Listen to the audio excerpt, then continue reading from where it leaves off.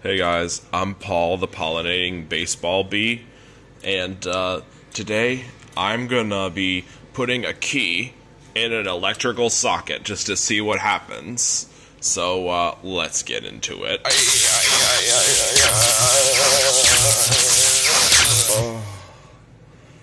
That's what happens when you put a key in an electrical socket, kids.